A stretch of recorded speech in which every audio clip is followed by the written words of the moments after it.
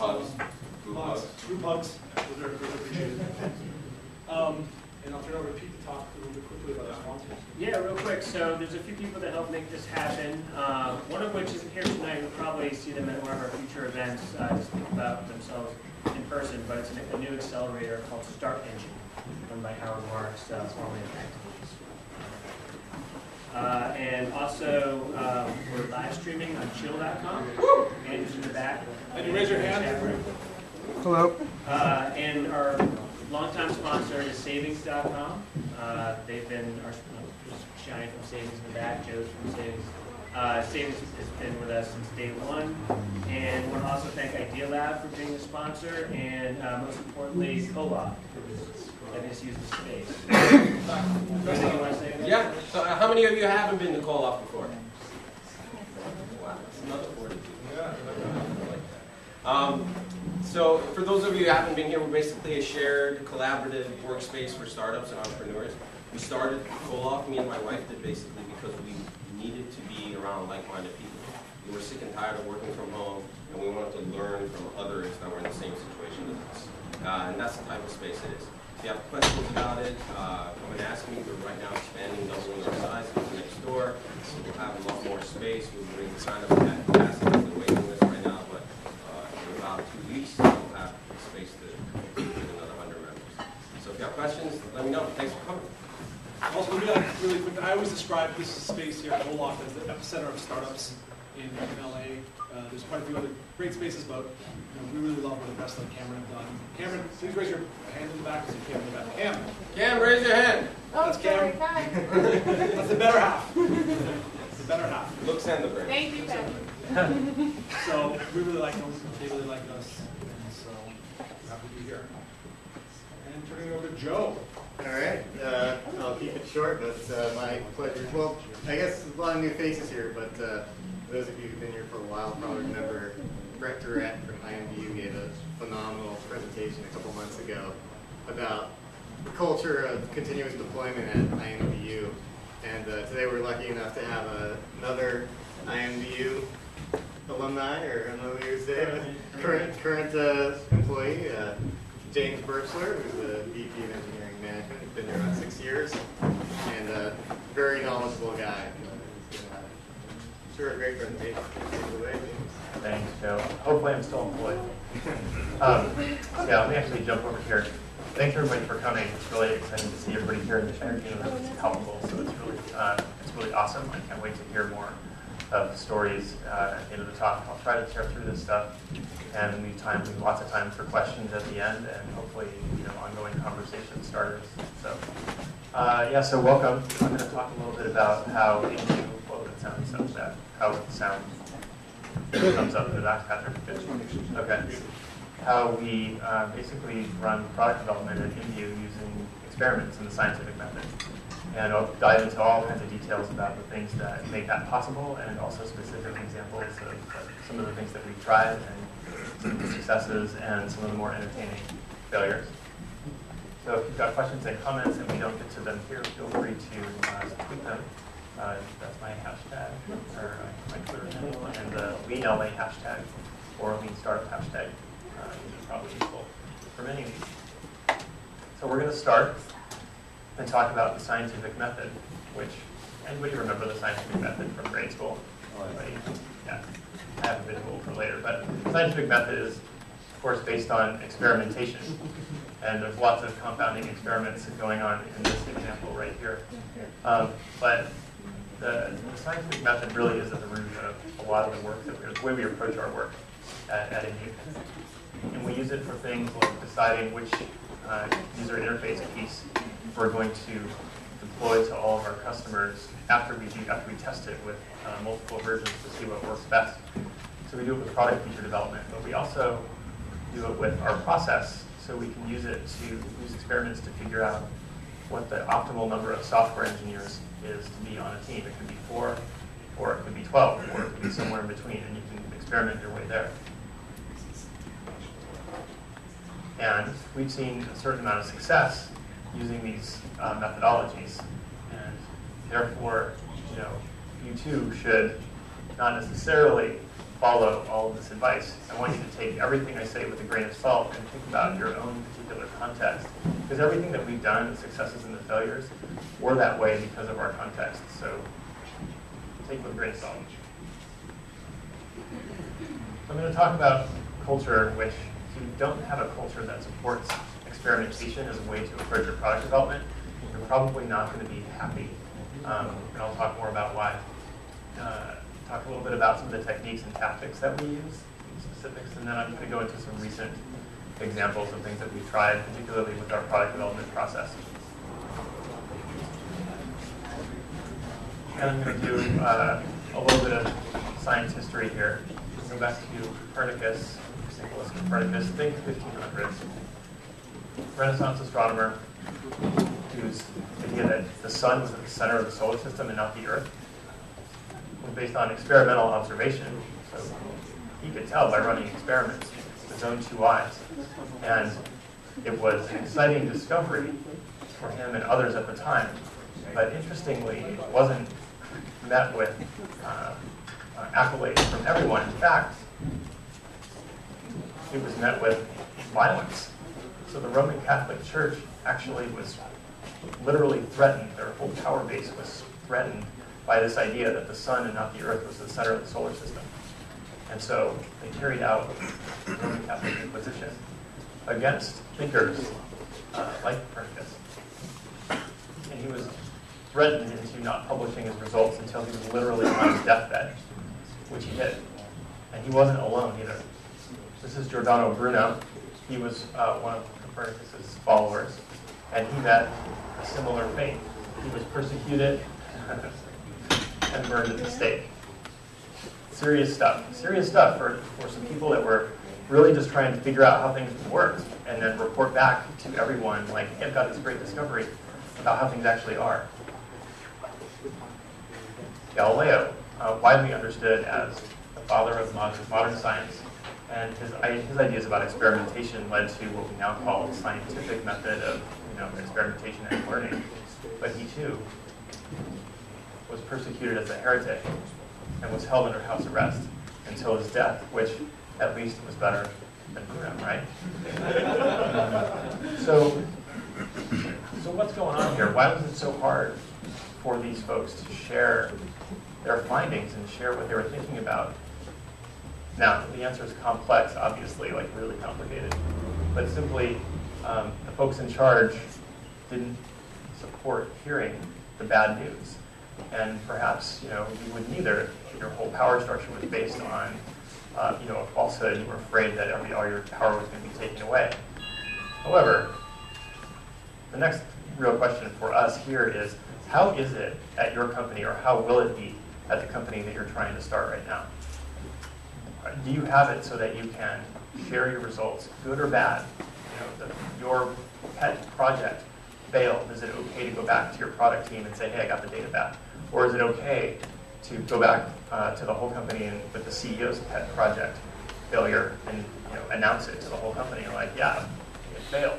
If it's not safe for you, um, I'm sorry. I hope I hope that you can work with some of the stuff that we've done uh, to help make it better. Because progress is awesome, and we have a really sweet thing going on in you because we run experiments all the time, and we can share the results freely throughout the company. And it lets us learn really fast about what our customers want, and so it helps us be successful. Uh, yeah, good stuff. So experimentation is good. Right? You, should, know, we're going to talk, let's talk about that. So this is the scientific method. This is the, this is the chart from sixth or seventh grade or whenever you had it. But you start with a question, you do some research, you form a hypothesis. This is really, really important. I'll talk more about that. You run the test, you gather and analyze the data, you draw a conclusion, and you report the results. Linear learning at its finest. It's great. What if you thought of it as a continuous process of learning? And the way you were doing it was just following that methodology. And the faster you could go through the scientific method and then continue to wrap those results back into your new questions and your new hypotheses, the faster you could learn. Sounds great. How many lean startuppers are there here? Like, I've run a lean startup. Okay, so this should look really familiar to you. This is the lean startup build, measure, learn loop. You start with ideas and you build stuff, it with code, you measure the data, you get learnings, and then you wrap those learnings into your new ideas and you do it all again. The faster you can go through this loop, the faster you can learn. So it's interesting to note that this is the scientific method, and it was neat to, you know, juxtapose these two, two charts, and I was like, is it really? But like, yeah, it kind of is. So we, we can apply the duck test if you're, if you're not sure. It smells like it swims like a duck, it looks like a duck, and it quacks like a duck, it probably is. Okay, so that translates into something like this at IMVU. So how are we going to run an experiment? We're going to talk to customers and get use cases from the, from the beginning. We're going to form a hypothesis to test, and then we're going to build stuff. So we're going to write some code and test it on a developer's machine. And we push it into production and test behind some flags so that only our QA people or only our admins, people in the company can see it. And then when we're comfortable with it, we roll it out to a percentage of customers. It could be a small percentage, it could be a large percentage, depending on how fast we need the data back and also the kind of experiment that it is. And we, uh, we get the results, draw a conclusion, and then we share the learnings and do it all again. And yeah, this is the scientific method in action. This is basically how we do it. You can even distill this further, which I'll do in a little bit. So we have this culture of experimentation, and it's fundamental to the success of doing the Lean Startup methodology, in my opinion. And we started this stuff in earnest a long time ago, at least six years ago, and there were only about 12 people at the company when we were really um, getting this going. We were doing test-driven development and writing our first tests and building our experiment system. And so how did it all actually pan out? Back, back then, it was a small group of people, and we all sat in this tiny office space that was like way smaller than this. It was like a converted liquor store or something. It was hilarious. But we would sit around and go, you know, I think that what we need is tag clouds. Tag clouds would be awesome. And at, by lunchtime, we could have tag clouds out. And uh, basically somebody would say, well, prove your idea is actually going to be any good. And so we'd be like, okay, so we go build it. We run an experiment, which was easy for most people to do in the company, and it was small enough that if you weren't an engineer, you could just ask somebody, just call out and you get help. And we did it by keeping everything as simple as possible from the beginning. And so this is, this is sort of key. So this is basically what the code originally looked like, just super basically. If a customer is in the control group, we're going to do it some, some existing or old way. And if a customer is not in the control group, in other words, they're in the experiment, we're going to try out a new um, feature for them and give them the new experience. That was pretty much it. Once you start running a lot of experiments, you need to make this a little more complex. But to get started, you don't have to worry about any of the further complexity. Um, just get started simply once we had hundreds of experiments in play and realized how hard it was to disambiguate what was actually going on, we had to have a more robust management system. And so we built exactly what we needed. So we have a tool where we can uh, manage all of our experiments, who sees them, whether or not the thing's on or off, really quickly, and really easily. So they're simple to manage. And it's we also at some point realized that it's actually not trivial to figure out what's actually going on from your data. So we had to build a special tool to help us analyze the data safely and not make silly statistical or statistics-based based mistakes. Um, I have some hints on that too. Uh, so this tool is pretty cool. It uh, calls out statistical significance for what you're looking at. And it will also, the green and the red indicate whether or not the thing was good or bad, the particular metric was good or bad. So this is a mixed experiment. Some things are good, some things are bad. And um, so yeah, so what happens if you know, the special metric that everybody's looking at turns out to be a failure for this experiment, what happens at is that we just go, okay, what can we learn from that? And hopefully we had a good hypothesis to test uh, from the beginning anyway. So we, we'd already be learning something. But we just embrace the failure. We do this from the executive team on down to each of our product teams, and even in our all company meetings, we regularly share good and bad news, and it's okay. It's really healthy. So we really practice this. It's just like this pithy quote, but it's so true for us, and it's so important to our success. It really does say a lot about uh, your culture in terms of how you respond to failure. And this is, this, this is something that uh, we're going to be, ta- we at IMVU, we're going to be talking about more and more, uh, because it turns out having a healthy culture is fundamental not just to run good experiments and running that sort of system in company, but it's fundamental to having a happy group of people working together and ultimate success and ultimately the great features that can be pushed out to your customers. This is a paper I just wanted to share with you, written by some folks at Microsoft, of all places. And it's called Practical Guide to Controlled Experiments on the Web. Listen to your customers, not to the HIPPO, the highest paid person. And this holds true at IMVU. In fact, um, anybody in the company's idea is just as um, interesting at the outset as anybody else's. Now, we look to with ideas to have some experience and some insights around their idea, and we're not just running random spaghetti on the wall experiments just to see what happens, although that hasn't always been true. Um, but I wanted to share this with you. The reference is going to be at the end. And so culture really is key to this, and um, I hope that there are some questions at the end uh, surrounding this, because uh, it's a pretty interesting topic, and uh, I'm, I'm looking forward to talking more about it. So, okay, so we've got this hard one, freedom to experiment. Awesome. What could possibly go wrong? Mean, I've said all these great things about experimentation, and I've you know, touted the success of IMVU, so what could possibly go wrong is like a lot of things can go wrong. It turns out this simple experiment system, it's like, I funny things. The, uh, the experiment system is really simple to screw up. Like really simple. And you can screw up at every stage. This is the, this is the interesting thing about it, even at the beginning. So I want to talk about that a little bit. This is another synopsis of, of the whole process. It's like start with use cases, test your hypotheses, and do it over and over and over again, and learn from that. It seems so simple.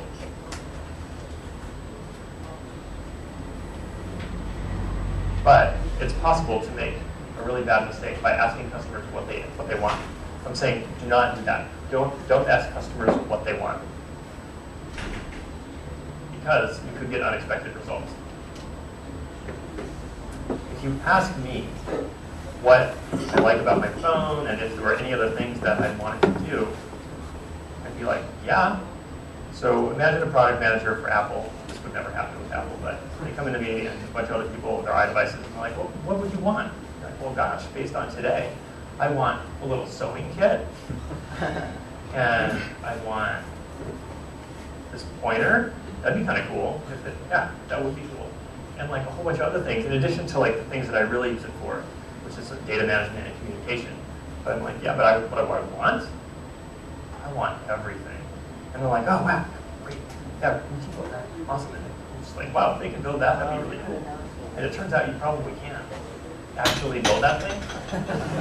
and you can hurt yourself using that thing. That's like scary. And it's, it's like not what you want. What they should have done was ask customers what they're trying to do. And, you know, develop the use cases. What are you actually trying to do with this? And they, if they say that, I'm saying, well, basically I'm checking emails, sending text messages, and calling people on the phone. Occasionally I'm browsing the web and doing other fanciness, but when you take away those basic communication features, I don't want this phone.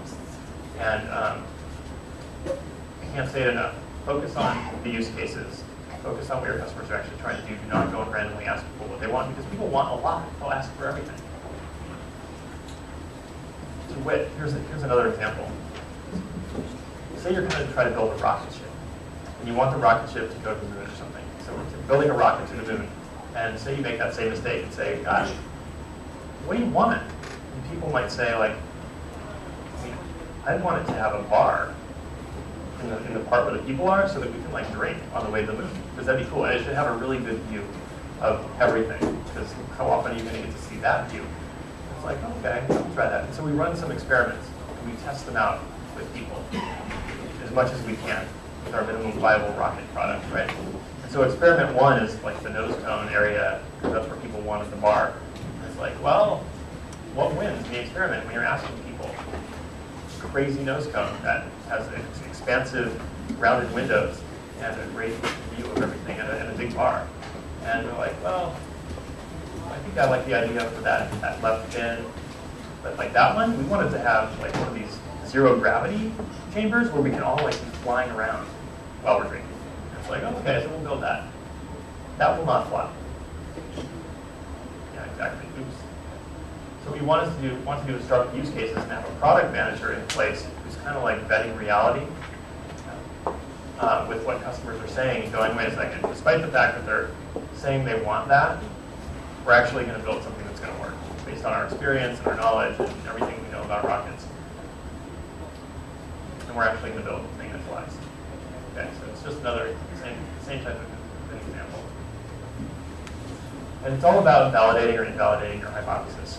If you're going into building your product feature um, without a, hypothesis, there's really no point in running the test. You can't just do ran, you can do random spaghetti on the wall tests and just see what people might like, but it's so much more effective and so much more valuable to have a hypothesis to test because then you can tell um, you know what you learned from the results of your experiment. Did my hypothesis win or not? This is not easy, however, in some cases. Sometimes it takes a product manager with a lot of courage to be able to say, you know, despite the fact that this data is a little mushy and I can't really tell what's going on, I'm going to stick by what I think to be the correct design. And I'm really going to go for it. And at IMVU, one of the things that we do is we empower product owners, we call them or product managers, product owners, with like final decision-making authority. And you really can, as a product owner, own the product. And you decide, like, you know what, I think this is the right way to go. And we look to people to do that. It's a lot of responsibility. And we support people with um, all the tools to make uh, good decisions. Uh, but we'd rather have that than have a bunch of wishy-washy, like, oh, I don't know, let's just try like uh, the average. It's like, we don't want average. We're trying to build exceptionally good products for our customers.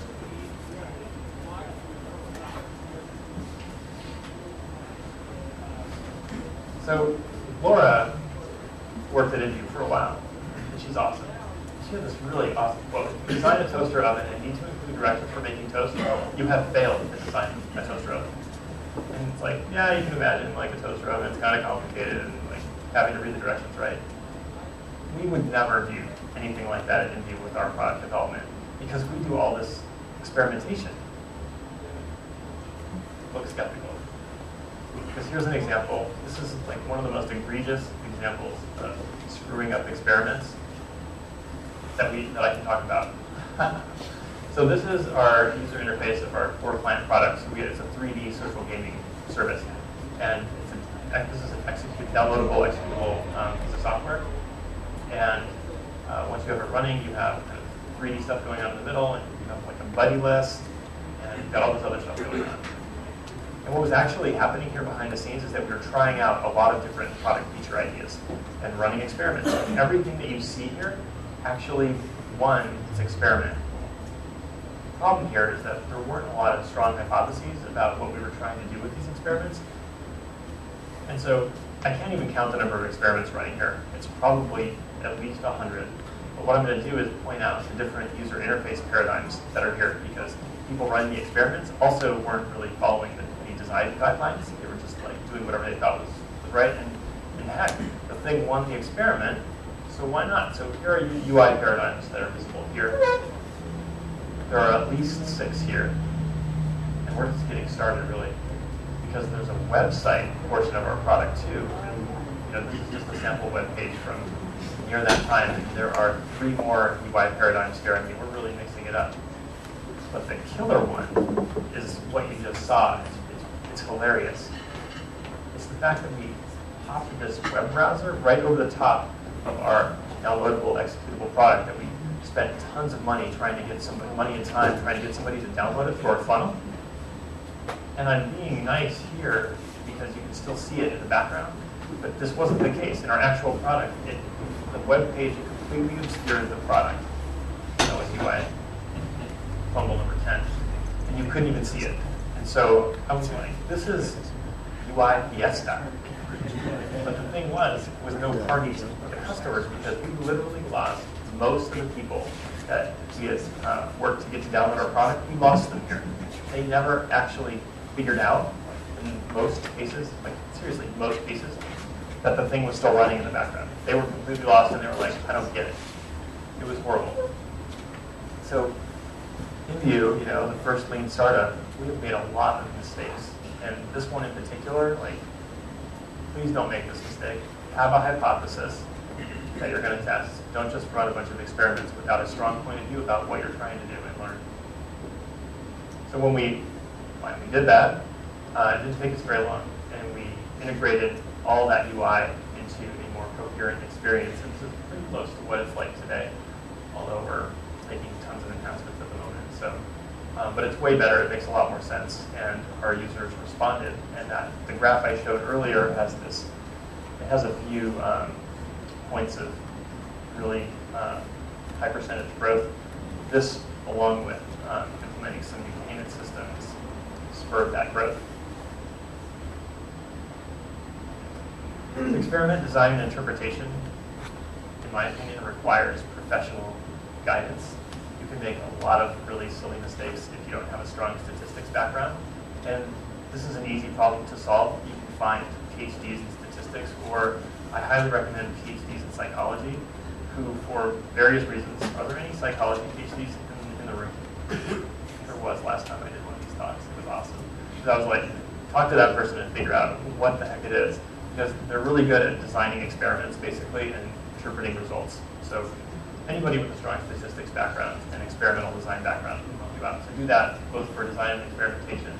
Always start with use cases. Uh. And use experiments to test hypotheses, uh, not to form them. This is a huge mistake that's easy to make. And as much as I talk about these, we still sometimes make these mistakes.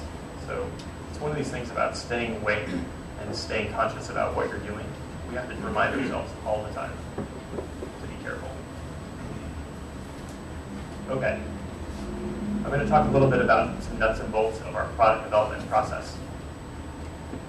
And I've broken it up into build, measure, learn. And brief, just really briefly, we use two to three week sprints, so pretty fast.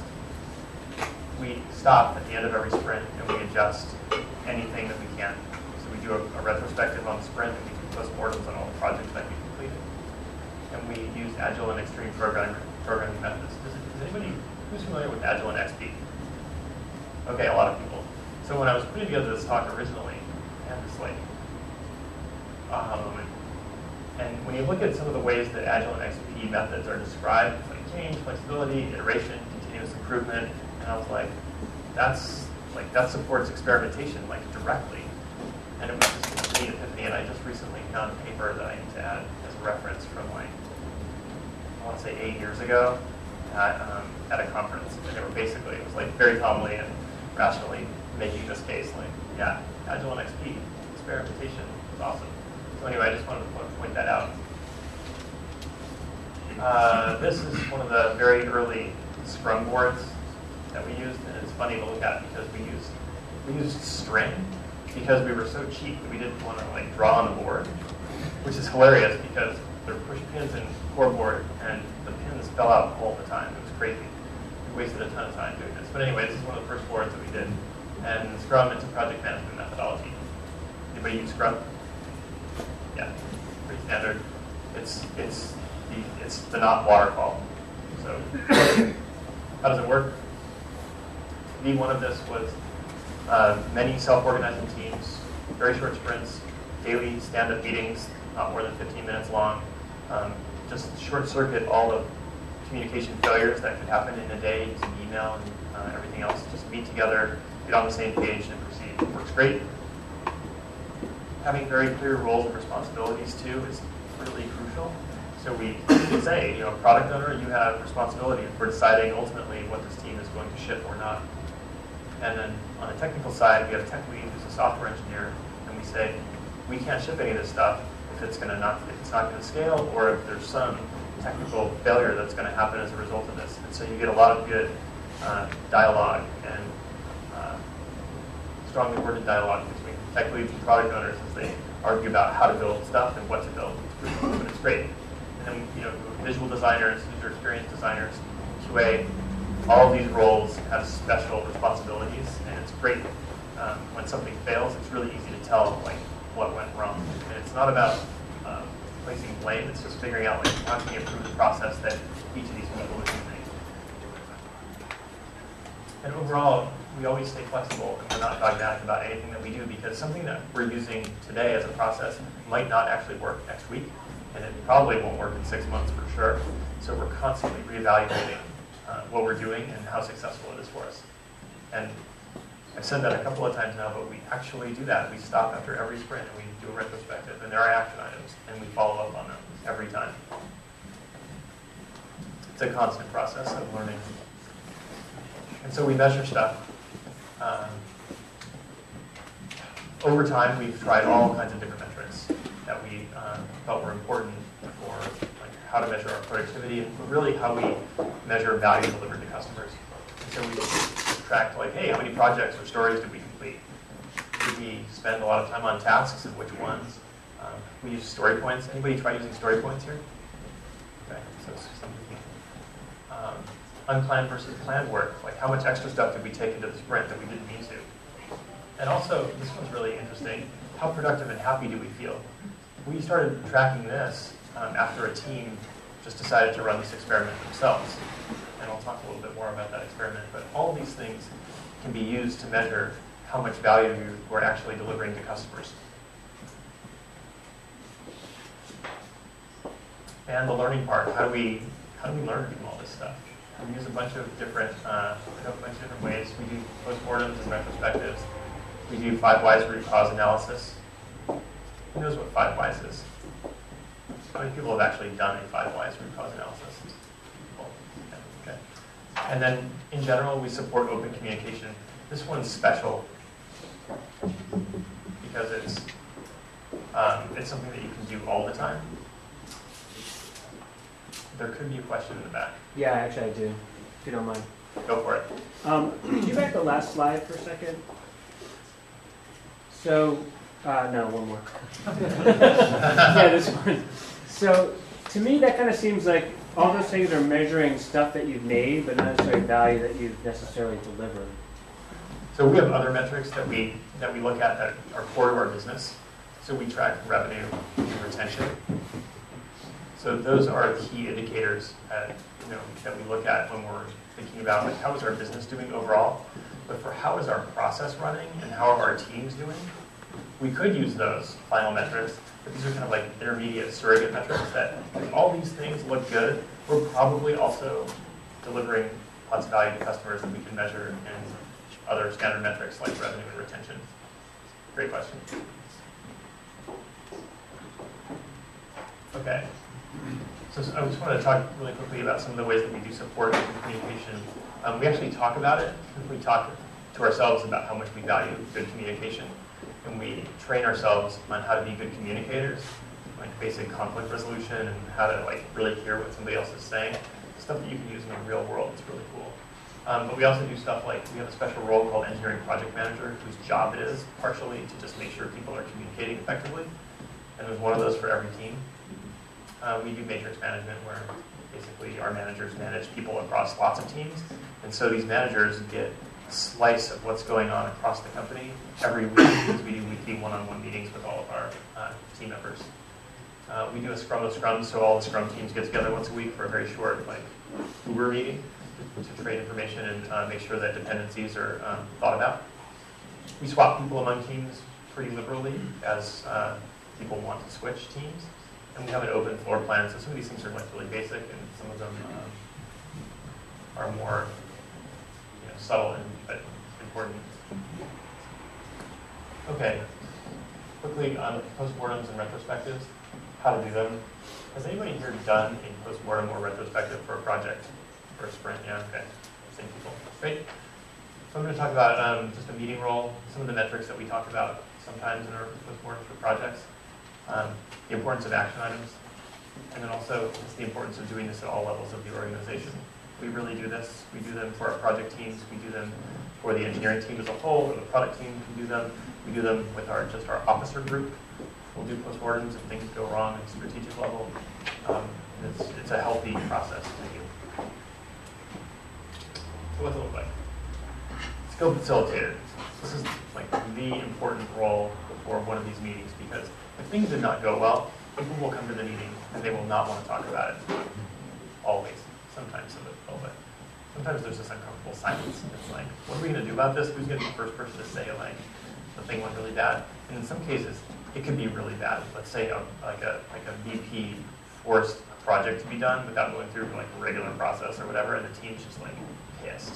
Well, you need somebody that can kind of sense what's going on, and really, we know what's going on when we convene these meetings, that like our good, good project managers know. And so they have to be able to foster good communication and do it in a safe way, and really be able to talk about that thing that nobody wants to talk about, the elephant in the room, right? So we put time into, we're careful about who we let lead these meetings. Some of the things that we've talked about in the past have included things like how many days did we work on a project, or how many story points did we did we uh, did we get done? Uh, what were the projects themselves, and like what happened that sprint? Like, did we trade somebody away, and like what happened? So this is some of the data that we capture later on when we're looking at the year or you know the sprint two years two years ago. We want to see what happened there. We'll remember, and you know at some level it's important to keep track of this stuff. Well, it worked for us for most of our uh, most of the last three years.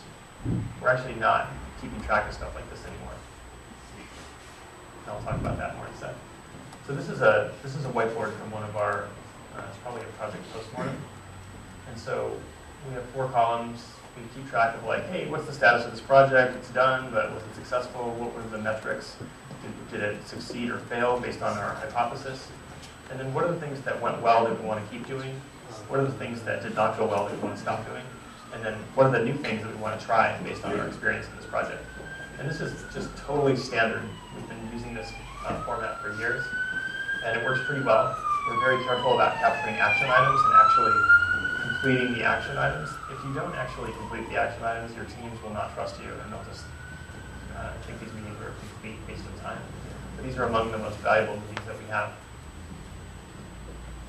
Uh, five whys. A bunch of people ran five whys, but you essentially start with your problem. We usually start with a timeline and go, okay, what happened? Something went wrong. Let's get as much as much data as we can about what actually happened, and then we start asking questions. It's like, well, in this case, logins were failing, and you know some technical things seem to be wrong. But in many cases, it's not a techno technological problem. Um, sometimes it's a human problem. So in this, in this example, which I won't read through, um, you just skip down to the question five. Why didn't James know about caching slow queries? And well, he was new and we didn't cover that in our training. And so at that point, there's our root cause. We will fix that root cause and amend our training materials. Um, yeah, always fix your root causes. Do your action items. Assign names to those action items and make people do them. Um, so always fix your root causes and always make the size of the fix commensurate with the size of the problem. So if you took out the website and it was out for 10 seconds and customer impact was minimal, maybe you don't need to spend a month fixing whatever system failed. Maybe you spent 10 minutes making it a little bit better. But if you did take out the website and your product was down for a month, causing you to lose millions of dollars, then you probably had some significant work to do, and it's justified, right? There's a big impact. Okay, those are some of the processes that we use to learn. Here are some recent process experiments. I just want to remind everybody, don't be dogmatic about how you do things and don't be dogmatic about listening to me. All this stuff worked in a particular context. Doesn't, many of these things don't work for us now, and they might not work for you either, but it is interesting food for thought. So, not that long ago, we had about three big development teams, and one of them, across all the teams, we spread the pain of our BuildBot server. So every time somebody commits code, which happens 50 to 100 times a day, it has to go through a battery of automated tests to see if they broke anything with their code. And anytime a test breaks, somebody has to fix the test. They have to figure out what broke, and then they have to fix it. And every time that happens, it slows down all the rest of the tests running. And so in the course of a day, each team would have broken six or seven build machines. And so say you've got 20 build machines out, if we had 40 total, our process just slowed down by half. And we were trying to split up all this work of keeping it running among all the teams. But recently, we decided, well, that was the old way. Basically, everybody, everybody's in pain, and all the schedules for all those teams and what they actually were planning to work on are all at risk. But we did that for years. Recently, though, we decided, okay, let's try to create an interrupts team. And the first question was like, who the heck is going to want to work on the interrupts team? And it turned out we had lots of other more interesting work than just handling interrupts for this team. Lots of people volunteered for it. And so we did that. We got uh, almost a full team, and then to fill the other slots on the team, we created. We just said, look, you other people that don't want to participate on this team right now, you'll have a home team. It's the team that you're on most of the time.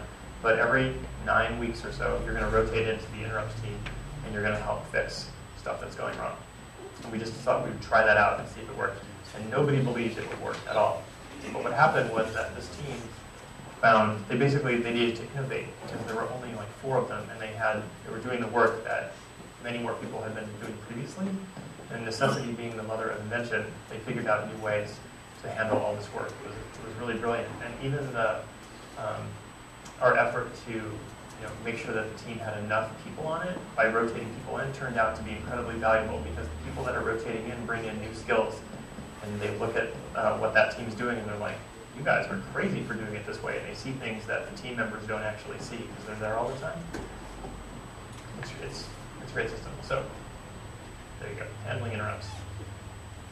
This experiment was one about time tracking. We used to care a lot about figuring out if we could do good time estimation for our engineering tasks. And surprisingly, we got pretty darn good at it, but it took a lot of effort. And um, in many ways, it was a waste of time. So we had a team that said, you know what, we're just not going to track time anymore. We're not, we're not, going to put estimates on tasks. All we're going to do is make sure that we're working on the right stuff. And we're going to work on it until the feature or whatever it is is awesome. And that's what they did. So they were just focusing on the features, the value to customers, and not how long it was taking. That made everybody really happy. Not only because they had short planning meetings, but because they were focused on like just delivering value to customers and doing it by building great products. So overall, this was a winning experiment, and I'm going to talk in a minute about how we translated this to all of, all of our teams. But there is a problem with this. It's harder to predict your progress when you haven't done any estimates at all. And some teams can't handle that. So the way we handle that now is that sometimes somebody wants to know, like, when is this project going to be done? And at that point, it's a great time to get the most accurate estimate possible because you've already done a bunch of work leading up to that. So we give them a just-in-time estimate. We don't spend a lot of time on it. Just tell them it's a ballpark. But um, yeah, that, that's, a, that's a requirement for that quick question. So you weren't tracking velocity at all in terms of like Scrum? Nope. Nope. How Their long- chart was blank. How long until you got there? To that? That took us, we had to build up a lot of trust on our teams to be able to get to that point. It took a good two, two and a half years of kind of going through all these different kind of Scrum processes and, and really compressing time here. Some of these examples we've been doing for years and years, and some of them we've just started, so it's a good question. Part of the learning that you do as a team, as a company, lets you try new experiments that you could never try successfully earlier on. So this, this required a lot of trust. Yep. How do you know when you're done? So in the last example, how do you know when you're done? The product owner ought to have a really strong idea about what done means. For us, it means you're done when you've built a product that you're proud of and that you think is awesome, the team thinks is awesome, and that your customers tell you is awesome. So if you're building a game, then what you want to do is you want to put that game in front of a customer, and you want to say, hey, play this game. You want to watch their reaction. Just tell them you're going to pay them 50 bucks for 30 minutes. After 15 minutes, if they're smiling and everything, or whatever they're doing, you can say, look, you can take 50 bucks now. We're done. Or you can keep playing. If they stay and keep playing, you probably have you probably have a winning product feature right there. So some variant of that. So we're really focused. It's kind of subjective, and we have a high bar. What about scope creep? What about scope creep? Let's hold that question until the end. That's a good question. This, this are, these are good classic questions. I might, talk about. Well, okay, so basically you need a strong, courageous product owner to keep scope creep from happening. That's, that's the nutshell version, in my opinion. Okay. Scrum 2.0 turned into, um, based on our, that process experiment, we stopped tracking time, and we also stopped caring about the sprint. We used to have sprint deadlines where we really try to push ourselves to finish something by a certain deadline. And with this new team, they were like, well, we just want to keep going until it's really awesome, until it's done. And so what they started doing was they, look, we'll stop every three weeks to do a retrospective regardless, but things don't have to be done. We're just checking in to see how we're doing. So it's continuous planning based on that successful process experiment. And it's kind of like it's just in time planning when we do planning. So the retrospective could happen after three weeks and we go, well, do we still have work that's ready to go? Do we need to do any planning? And the answer could be no. It's like, no, let's get back to work. And then when they run out of stuff and they're like, hey, you know, we're going to need to plan a little bit, so we need to do tech design for something, they'll just stop whatever they need to and, and do the, do the plan. And then they just, we just continually ask, are we working on the right stuff for customers? Like that's an important metric for us now. And is the thing something I'm proud of at this point? Is it ready to release yet? Those are really important questions for us, way more important than how long will it take us to build that? Like, We're just going to do it right. This is a basic one, keeping your team together. Just uh, so we have a bunch of product development teams. They're all working in different areas, and we just physically locate them in the same parts of the building. And it solves all kinds of crazy bad communication problems that you get when your team basically gets more than about four people. And we do have more than four people on our teams now, so we put everybody together. And it means that groups that used to sit together all the time, like our data insights team, they're uncomfortable a little bit because now they're sitting with software engineers, designers, and everybody else. Same goes with design um, and everything. So basic, but effective. Have a fixer. This is that engineering project manager role that I mentioned earlier. Part of that role is to just make sure that everything is going as smoothly as possible, that our teams are happy, productive, and delivering value to customers as quickly as possible. Like that is a key part of my job when I'm acting in the role of an engineering project manager. I have tremendous latitude to make sure that teams have equipment they need, um, that they're getting any kind of support that they need, and um, it can really be anything. We're not above providing a team anything they ask for as long as it results in better value to customers. So re- remove any kind of blocks. Sorry, this is really hard to read. Uh, this person's part of this person's job is to remain objective. So as an engineering project manager, I'm on the team, but I'm not like in the nitty gritty of the team. I don't have a clipboard and I'm not tracking tasks. What I'm trying to do is make sure that the team's not driving itself into a wall and not realizing it. So that causes that requires you to re- uh, retain some level of objectivity. And I'm really shooting for team happiness because it turns out a happy team is a very productive team. And I would much rather spend my time making sure someone's happy than be tracking them down to find out if they were productive enough. So we just find if somebody's happy, they're going to be productive, and that's what we focus on is the happiness, which is a fun way to approach work. Okay, technical project reviews uh, came out of um, our one of our technical directors, who was responsible for failures at a high level. And they said, you know what? I'm not getting enough insight because of all the projects that are getting done. So every time we ship something, we're going to get the engineers together for a very short meeting and do a, basically a group code review and see if we need to change anything about that. And so this engineering-led team can take work back to the product-led team, and the work gets done. So I don't know if that happens at people's companies here, but we have a really good relationship between engineering and product, and we trust each other. So if the engineers are saying, we have to fix this thing, because if we don't, we're going to be kind of screwed later when our usage doubles, product listens, and we, um, get that stuff done. This was a pretty interesting experiment. We just took a team and we moved them out of the main building and we rented them a garage. And uh, got them like basic startup stuff, like power and water and caffeine and a little fridge. And then a, there was a patio umbrella in the back. It was hilarious. And it was a tremendously successful experiment. We, and we said, oh, we also said, do not follow any of our current process. if you do, we will, you know, you're in trouble or whatever. And so um, they basically recreated their own, they started from scratch with everything. And it was brilliant. So we broke the routine completely for these guys, minimized our process. In fact, we strongly to it all behind. And really just focus on value to customers. And so they were working on top secret stuff. Rest assured, it was an incredibly successful, successful experiment. And one of the takeaways is to just randomly shake things up for teams. I have an example. Uh, Uh, Did you validate that by randomly shaking it up a number of times? we had enough success. Or with you could have just learned that all your processes suck. Um, here's the thing. That's a good question. So did we just learn that all our processes sucked, or like what what happened there? Well, so they had a very particular context. They had the context of a small startup company working out of a, a small garage space, and a lot of our process, there actually isn't that much of it, but a lot of it is designed to combat the problems that you get when your team gets so big that it's just hard to communicate effectively. And so a lot of what we do is just, so at a large, at the scale that we run our, with the rest of our teams, it's appropriate to have a lot of this process, but not all of it. You know, we did have learnings that were like, why did we do that kind of meeting? That's, that's just a waste of time.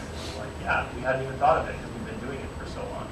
So that's one of the benefits that you get by shaking things up. You know, people get out of the building for a couple of months, they come back and go, you guys are all totally crazy. And we're like, what? We're not crazy. And they're like, sit down. Yes, you are. And they like lock the door.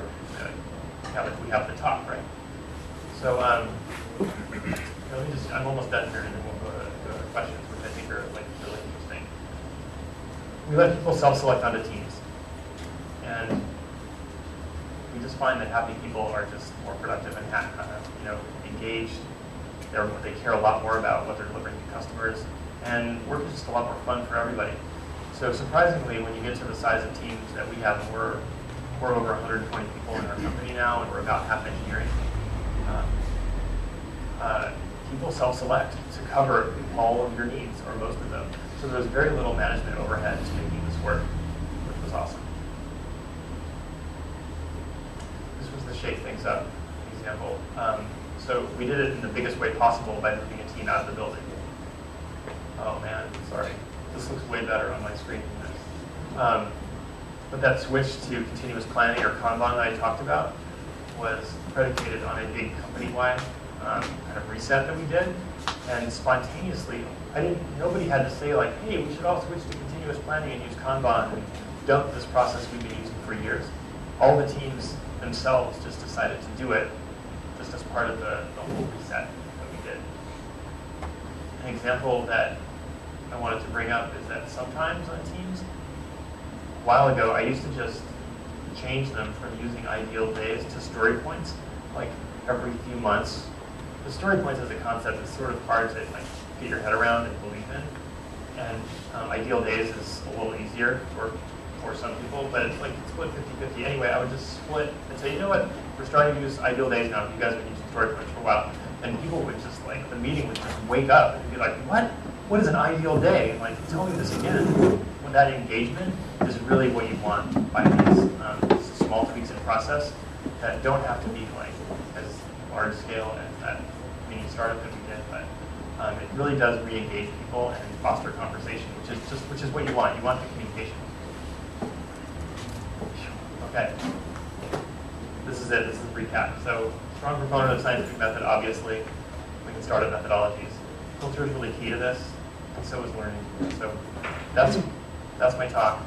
Um, I look forward to your questions. So, let's do it. We've got some time left. Yeah, so right there.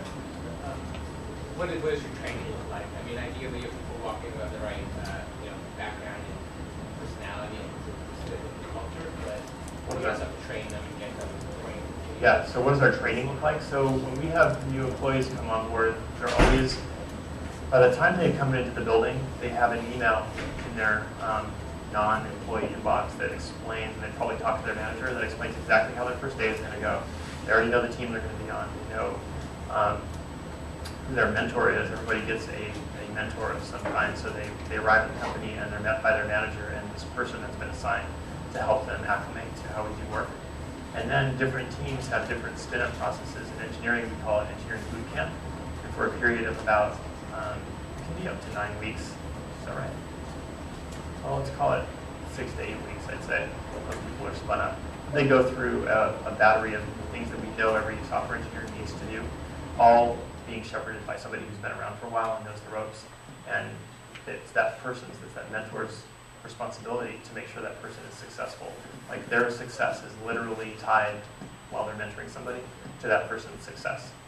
So we have a, a good long talk about that anytime we're going to assign a mentor to somebody. So that we take it really seriously. It's one of the most important, uh, bigger processes that we do. And it's, interesting. It's totally people focused and it's focused on helping people happy and successful. We put a lot of energy into it. Good question. Um, how, what are your, your projects like? Is it, is there like ten features within a project, or you, you try, you do continuous deployment? So do you, you try to create the smallest project possible? Yeah, so the question is, what are the, what do the projects look like? Are they big projects? Are they small projects? Do we cut them into pieces? Like, how do we manage with continuous deployment all those features?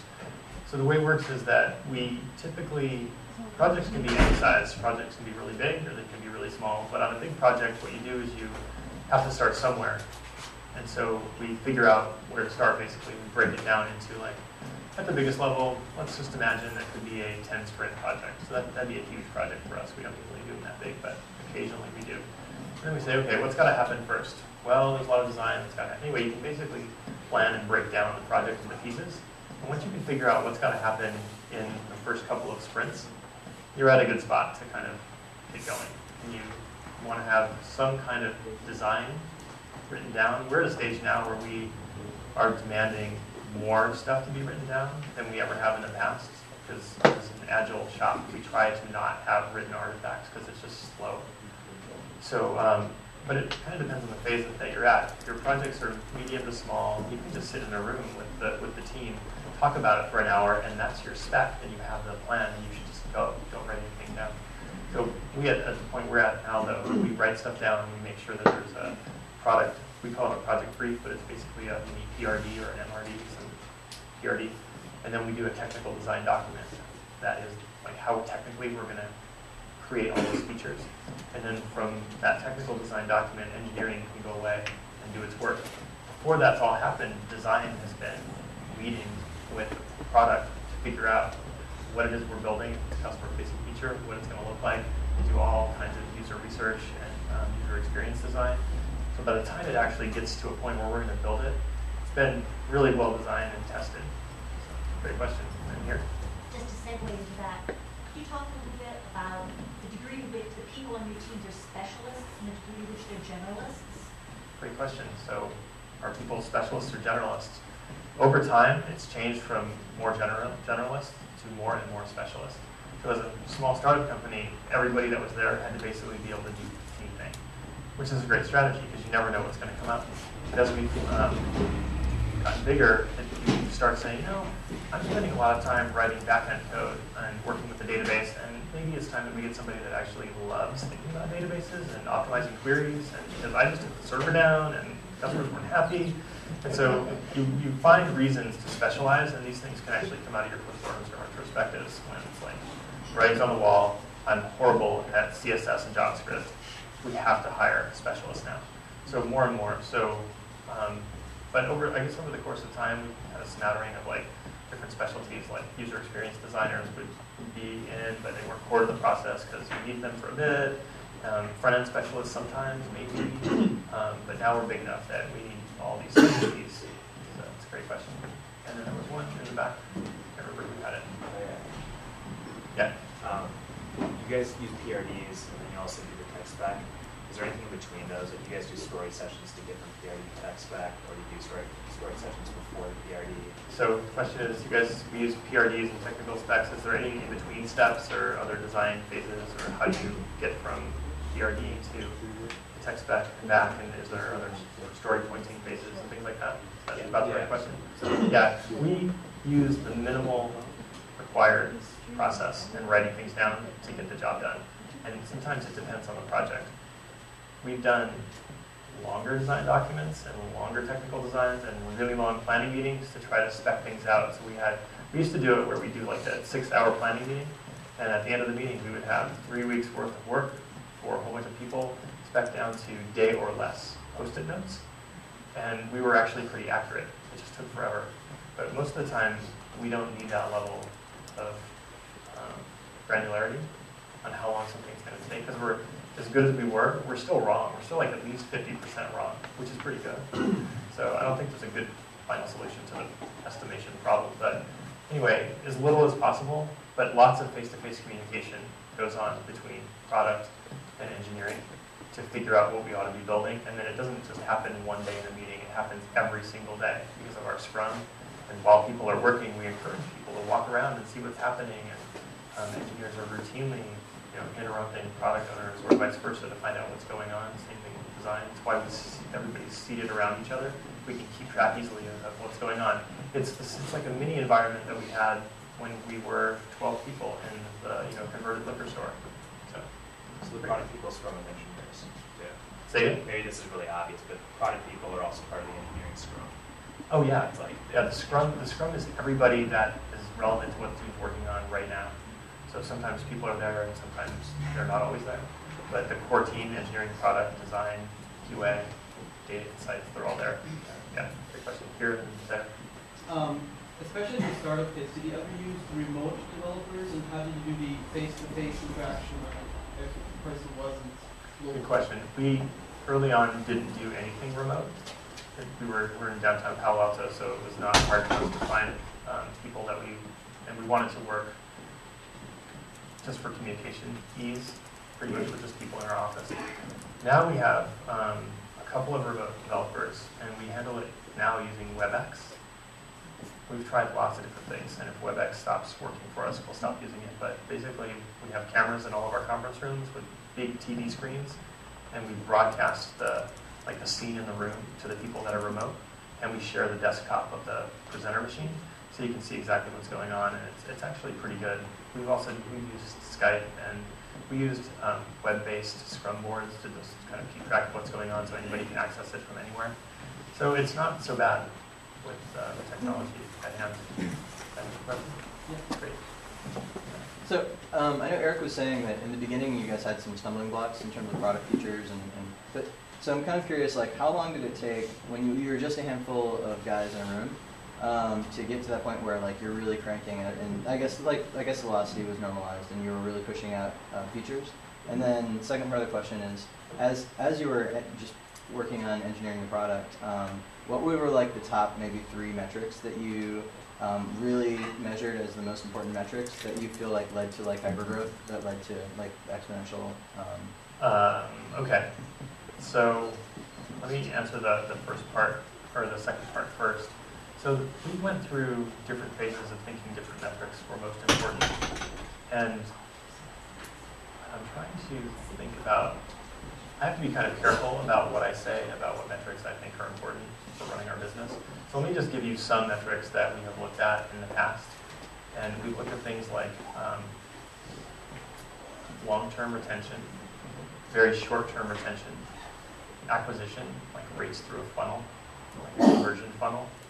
And one of the most important ones is sort of like the Uber metric is this revenue, because it's so easy to see, like, are you providing value to customers or not? Well, are they paying us money? Yes, yes, we are. We're doing something right, so let's dig into that more. So I'm trying to think if there are any other, like, super duper important ones. There probably are, but for running business, those are sort of and probably the same metrics that you all use for running your businesses too. There are lots of internal metrics that we use though to tell how successful we think we are going to be, like when certain product features are released. And those are some of the things I was mentioning before. Like we can tell if there's a buzz in the building and people are proud of their features and we know how the user testing is going and people are talking about it, we can tell. Um, now in terms of the other question that you asked, which um, had to do with how long was it for our team to really clicking and we were really productive? Was, we were really productive from the very start. It just happened that it was 12 people working 14-hour days, and we were super productive. And then as we got bigger and bigger, we needed to scale our systems to work for multiple teams and way more engineers and things like that. And getting that system to be fluid and um, always work is an ongoing process. So probably about a year ago that we had to like basically stop our production line completely and just fix our build machines because there was there was just there were so many broken tests, nobody could commit code, and we were just dead in the water. So we just said, okay, we're just going to stop. Everybody stop your project work. We're actually working on engineering infrastructure because we had to. So it's actually a built-in feedback loop. We train our engineering team to always do whatever they think the right thing is. And so if they think the right thing is to just fix infrastructure, they'll just peel off and fi- fix infrastructure. They will tell product what they are doing, however, they'll just do it in isolation. But uh, anyway, great question. It's one. here, and then we'll go back there. Let's say, just assume it's like a, you're in like a larger organization of like a hundred or more people, and you don't have that sort of culture of experimentation. Where do you start? Does that have to come from the top? Does it come from the middle, bottom? Okay, so I think it has to come from everywhere, and if you're missing, but it's, it kind of depends on your, your existing company culture. We implemented Scrum as a, as a formalized process about three and a half years ago, and we've been using it kind of, but not really, and different people were doing it different ways. And we just, just for efficiency, wanted to formalize it. The way we did it was we hired a head of product who came to us from Yahoo, who was already using Scrum, and was like, yeah, I'm in it to win it with Scrum. And our engineering leaders were like, yeah, we're going to do it too. And then since so many people in the company had already been using bits and pieces of Scrum, it was a completely painless process for us to switch over completely, basically overnight, to start using it. We had support at all levels. It just sort of depends on big your company. You really need support from the top. You need support at the hundred person or more company. You probably have like directors, managers, and people like that. They all need to be on board. And I think you just need a critical mass. You know, I don't know what the percentage would be, but you know, more than fifty percent of the people have to be on board to do it. I think you need support at all levels. Otherwise, it's probably just going to be harder. I don't think anything's impossible though. I think good ideas are always win out. So, or at least they should. Anyway, um, so back in the back, and then back in the front, and then back again. Um, so since you don't, uh, you were saying you don't actually follow, or you said don't listen to what customers want, or don't ask customers what they want in the product in terms of product features. Yeah. How do you then map out your product roadmap um, in, in terms of features? Do you do behavior analytics, or like how do you actually influence, or, or what's the biggest influence for figuring out the next features that you're going to roll out for your product?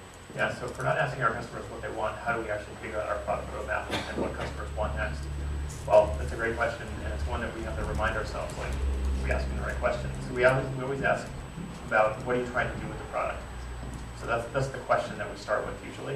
But we're also in conversation with customers a lot on different levels. So we have forums, and we have a community manager, and we have product managers who keep in touch with customers. Um, and we also uh, bring people in for usability research. And product managers also just have an idea based on their experience and their instinct about what a good product would be in the sort of area that we're trying to build. So like generally speaking, at a high level strategically, we know kind of the areas that we're, that we're targeting. And we expect our product managers to have a point of view about what's going to be awesome in that area and what we should build. And then we grill them like crazy and make sure that they know what the heck we're talking about and that, and that we're going to be right. And part of that process is like, did you talk to customers? And what kind of, which customers did you, you know, really doing a good job of vetting that? But it's the, it's that we don't talk to customers. And I'm sure that occasionally we do kind of probably in some way ask them just like what they want. But really we're focused on meeting use cases mm-hmm. and providing value that we know customers will pay for. Do you do you validate that with like qualitative testing or like focus groups or anything? Or? We don't use, so how do we validate that? Do we use focus groups or other kind of testing? We don't use focus groups usually. We usually, we do lots of, um, bring one person in and, you know, videotape the, the customer experience and then we talk about it and bring in lots and lots and lots. Um, yeah. We haven't used focus groups though. Okay. Uh, you had a nice little if statement in the beginning. You talked about the technical details of like the system we're using right now. It's gotten complicated. I talked about the technical details about the experiment system that we're using now as it's gotten more complicated. Not at any detailed level, but I can tell you some of the things that we had to solve for. So initially, when we had no experiment, experiments running, it was a simple matter to just have an experiment by using code just like that. But once you have a bunch of experiments going, you have problems figuring out like, well, gosh, if customer A got into experiment one and also experiment three and seven, now what does that mean? And like, so you need more sophisticated ways of managing which customers make it in which experiments. And then you also need special experiments just to like handle one-off things. Like, we just need to, we just need everybody in this or this. And like, once you get really complicated, it's not, we call it a singleton. And so, what else? What other problems that we had to solve? Um, just managing large numbers of, sheer numbers of experiments was crazy. And um, trying to manage it for ourselves as software engineers so that it's just easier to tell what's happening in the code. So when a product manager says, hey, we need an experiment to do X, Y, Z, and like, you're in the code, you're going, wow, there are like 70 forks right here. Which one do we want? So we had to basically made it easier for us to tell what's going on. So without going into any technical detail, because honestly, I haven't looked at that code at least two years. So, okay, question. Yeah, I go to Trader Joe's a lot, uh, I remember one time they got rid of this gorgonzola spread that I really liked, and uh. It turns out, you know, Trader Joe's is very much the kind of consumer food counterpart maybe to the sense they often just get rid of shit and bring new stuff in there. Um, do you ever have this, do you ever communicate to your customers that you're experimenting on them, or do you ever have a backlash and people saying, holy shit, what happened to that was yesterday? Yeah, so when we're doing all this, these product changes, do we communicate with people and warn them? Do we, or is there ever any backlash? People know what we're doing? Sometimes people know what we're doing, and sometimes people don't.